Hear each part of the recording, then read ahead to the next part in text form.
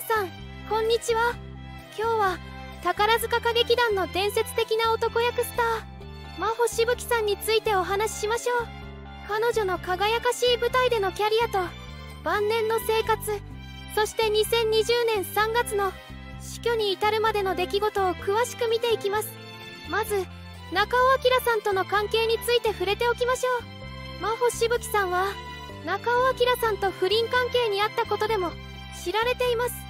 中尾明さんは若い頃からプレイボーイとして有名で多くの女性と関係を持っていました。その中で真帆しぶきさんとの関係も報じられていました。中尾明さんは茅島成美さんとの結婚期間中に真帆さんとも不倫関係にありました。真帆しぶきさんは元宝塚歌劇団の男役スターとして活躍しておりその魅力的な姿って多くのファンを魅了していました。スータンの愛称で親しまれた真帆しぶきさんは1933年2月5日に神奈川県川崎市で生まれました。本名は縄富子旧姓鈴木です。彼女は高校を中途退学して宝塚音楽学校に入学しその後宝塚歌劇団に入団しました。彼女の芸名真帆しぶきはまっすぐに頬を張りしぶきを上げて元気に行くようにとの願いを込めて命名されたものです。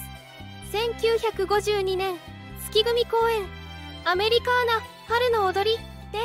初舞台を踏んだ真帆しぶきさんは宝塚音楽学校での首席入団という輝かしい成績を持っていました。同期生には浅岡幸二さんや篠角子さんがいて彼女たちと共に花組に配属されました。1955年12月入団4年目で花組公演「国戦や合戦」のメインキャストに抜擢されその才能を存分に発揮しました。1960年真帆しぶきさんは雪組に移動し明石照子さんと互角の活躍を見せました。1962年には宝塚大劇場公演「花のオランダ坂ナンバーワン」で雪組主演男役として大役を務めました。彼女の相手役として鴨さくらさんや大原真澄さんが活躍しました。1970年真帆しぶきさんは雪組トップの CEO ゴーチグサさんと右輪夏子さんに譲り声楽専科へ移動しました。この移動により彼女の音楽的才能はさらに開花し第25回文化庁芸術祭賞優秀賞を受賞しました。1971年には星組公演「ノバ・ボサノバ」に特別出演し遺族ソウル役で観客を魅了しました。同年第22回 NHK 紅白歌合戦にも歌手として初出場しその歌唱力を全国に披露しました。1975年3月真帆しぶきさんは宝塚を退団しました。しかし退団後も彼女の芸能活動は続きました。劇団四季の「シーソー」などさまざまな団体の作品に出演し続けました。彼女のリサイタルやワンマンショーはファンにとって大きな楽しみとなり宝塚の OG イベントにも積極的に参加していました。2014年には古巣宝塚歌劇団創立100周年記念で創設された宝塚歌劇の殿堂の最初の100人の一人として殿堂入りを果たしました。この栄誉は彼女の長年の功績を称えるものでありファンや後輩たちにとっても大きな喜びとなりました。真帆しぶきさんは晩年健康問題に悩まされました。2014年頃から2度の大腸がん手術を受け大腸を全摘出しましたがその後も元気に過ごしていました。亡くなる前日まで彼女は食事をしっかりとり元気に生活していたといいます。しかし2020年3月9日の朝体を拭いてもらった後に容体が急変しそのまま息を引き取りました。2020年3月10日真帆しぶきさんの死去が報じられました。87歳でした。彼女の死因は肺炎であり東京都内の自宅で静かに息を引き取りました。この訃報は彼女のファンや宝塚関係者にとって大きなショックとなりました。真帆企画の担当者は5年前にがんの手術を受け大腸を全摘しましたが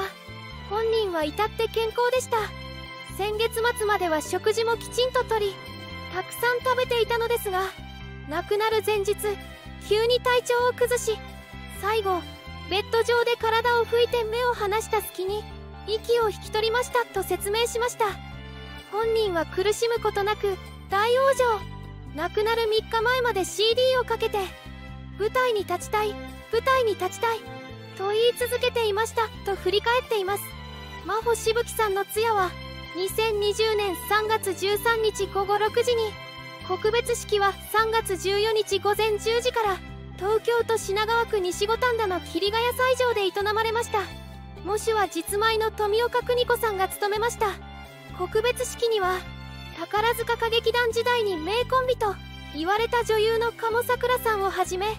約200人の弔問客が訪れました。鴨さんはとにかく優しい人でした。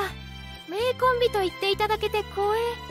この方についていけたことは幸せであり誇りと語りこれからも当時の歌を歌い続けていくことが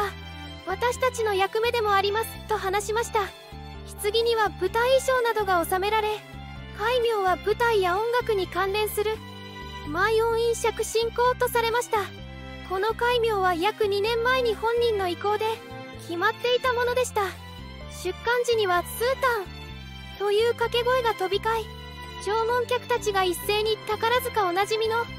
すみれの花咲く頃を合唱しました。特に鴨さんの高音の歌声がひときわ響き渡り真帆さんはその声に見送られて旅立ちました。真帆しぶきさんの死去は多くの人々に悲しみをもたらしました。彼女の死去に対する社会の反応は大きなものでした。ファンや関係者は彼女の訃報に深い悲しみを表し SNS やメディアを通じて哀悼の意を表しました。特に彼女の舞台を見たことのある人々や彼女の演技に感動した人々は彼女の死去に深いショックを受けました。あるファンはスータンさん OG のイベントの映像でしか見たことないですが独特な歌い方がものすごく印象に残っています。現役時代の舞台も見てみたかったです。ご冥福をお祈りしますとコメントしています。また別のファンは宝塚100周年の時にかなり歩幅が小さくよちよち歩くようになられており年齢を感じていました。宝塚現役時代は素晴らしいダンサーでもあったと聞いています。宝塚ファンとしてご冥福をお祈りしますと述べています。このように真帆しぶきさんの死去は多くの人々に深い影響を与えました。彼女の生涯とキャリアは多くの人々に感動を与え彼女の遺産はこれからも多くの人々に語り継がれていくことでしょう。この記事を通じて真帆しぶきさんの生涯とキャリアや出来事について詳しく見てきました。彼女の輝かしい舞台でのキャリアと晩年の生活そして死去に至るまでの出来事は多くの人々に感動を与えました。彼女の遺産はこれからも多くの人々に語り継がれていくことでしょう。真帆しぶきさんの人生とキャリアは宝塚歌劇団の歴史においても重要な位置を占めています。彼女の舞台での輝かしいパフォーマンスとファンへの感謝の気持ちは今なお多くの人々に影響を与え続けています。彼女の生涯と遺産はこれからも宝塚ファンや後輩たちにとって大きなインスピレーションとなることでしょう。最後までご視聴していただきありがとうございました。コメントを残してくれると嬉しいです。チャンネル登録高評価もぜひお願いいたします。それではまた。